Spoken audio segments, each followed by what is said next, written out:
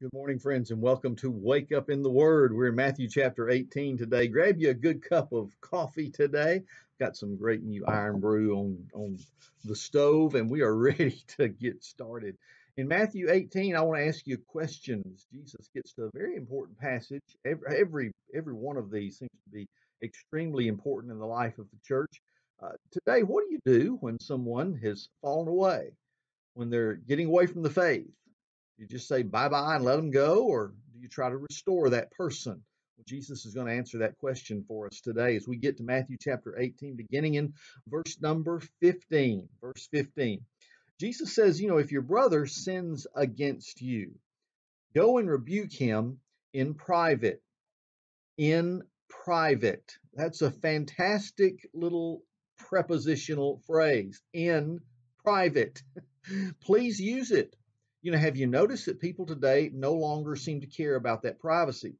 And maybe maybe it's just because we've given ourselves over to this world of social media, and everything is public now. Why is that necessary?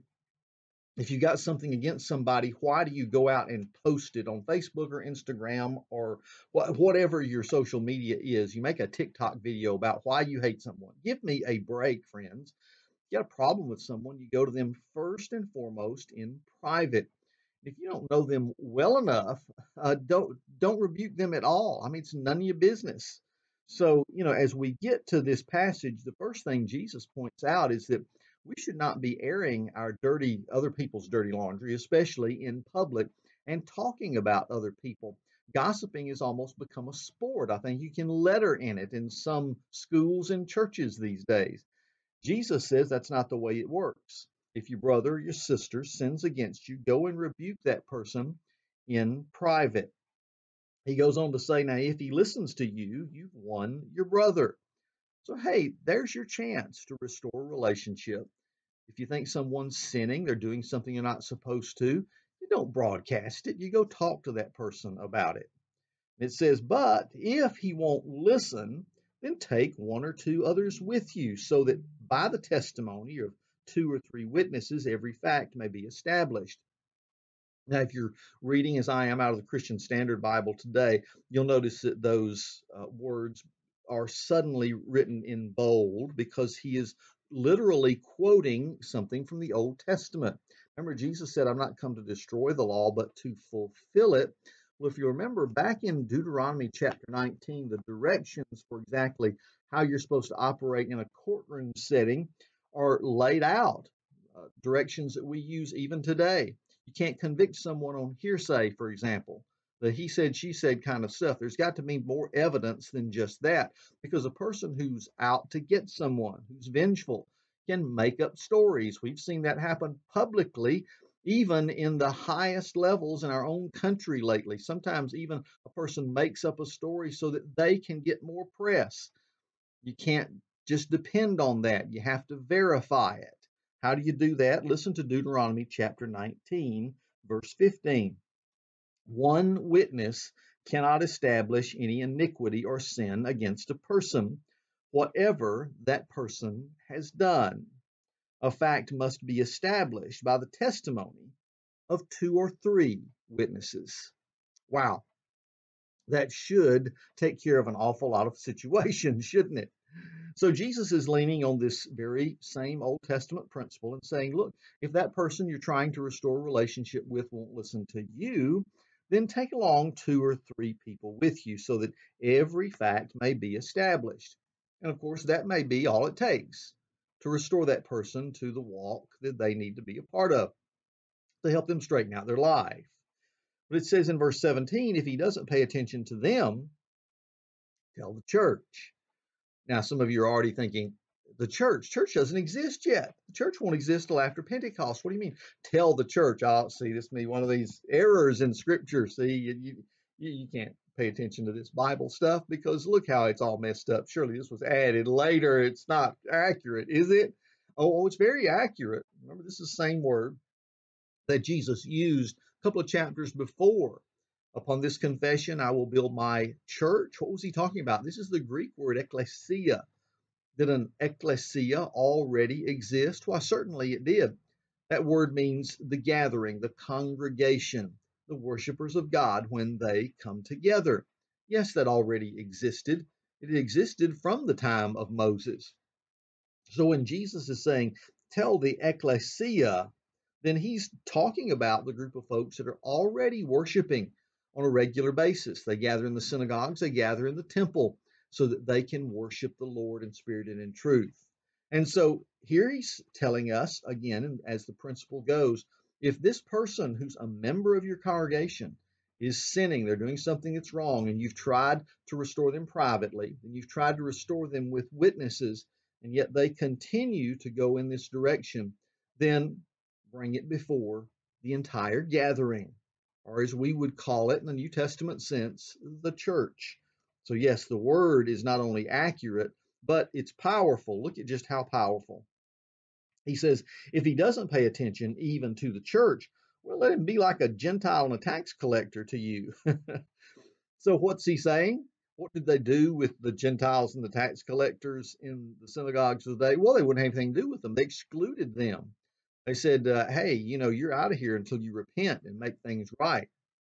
And in those cases, it gave a person the opportunity to see there was something to lose if you don't maintain the proper relationship with God and with your brothers and sisters that are part of the body. And so, with this opportunity, the person is always going to be welcomed back home if they're willing to repent and change their ways.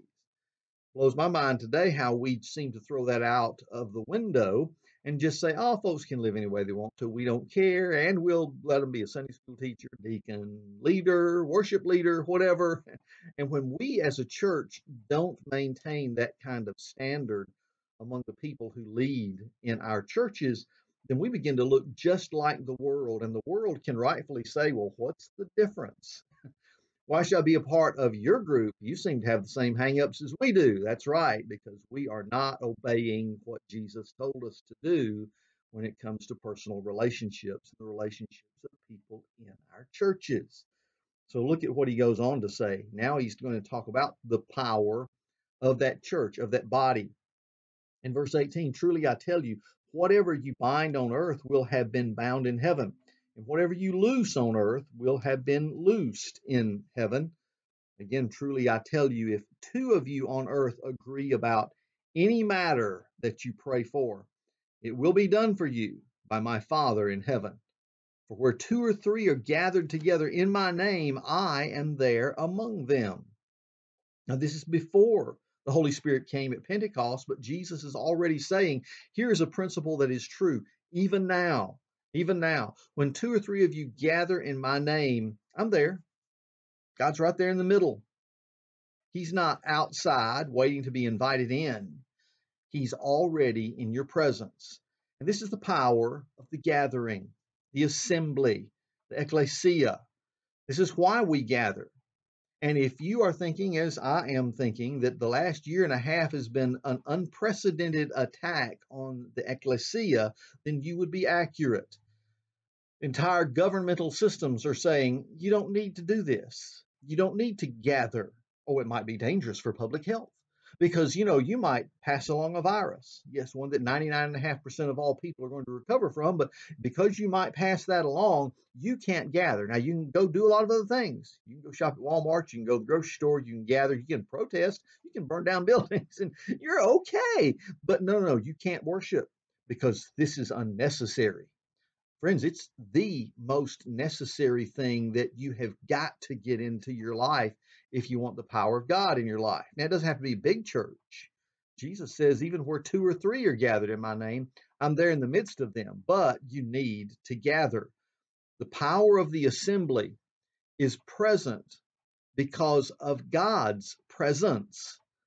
And that presence is manifested when we decide that it is the most important thing for us to do in any given week to gather and to worship Him. My friends, please quit making up excuses why you can't go to church.